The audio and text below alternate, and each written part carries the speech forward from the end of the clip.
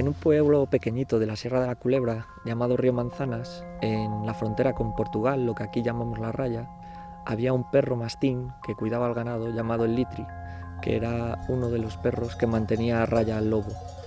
Un buen día, después de pastorear durante todo el día, ya cuando los pastores están cansados, al entrar al pueblo, estos descuidaron un poco eh, la atención al ganado y en ese momento eh, el litri atisbó algo por la cola del ganado. Eran dos lobos.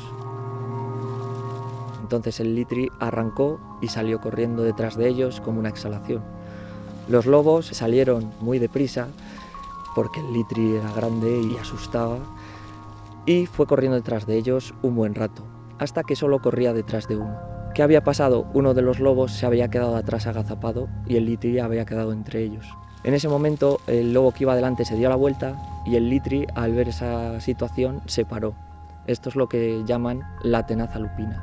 La gente del lugar dice que cuando el perro se siente dentro de esta tenaza lupina eh, se queda desconcertado y no sabe qué hacer. En ese momento los lobos se abalanzaron sobre él y hubo una gran batalla en la que estuvieron luchando. Los lobos le estaban dando una fuerte paliza al litri y en ese momento aparecieron dos guardias civiles que en aquel momento tenían las suelas desgastadas de tanto andar. Pegaron un tiro al aire y los lobos se asustaron y salieron corriendo.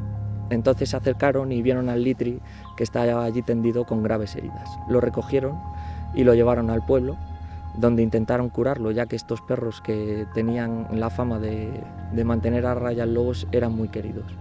Probaron con todos los engüentos tradicionales que tenían, manteca, romero, para intentar curar al perro, pero todo fue inútil y el perro murió. Y como dicen en el lugar, el lobo es, un animal que, las guarda y al litri, pues al mantenerlos a raya, se la tenían guardada.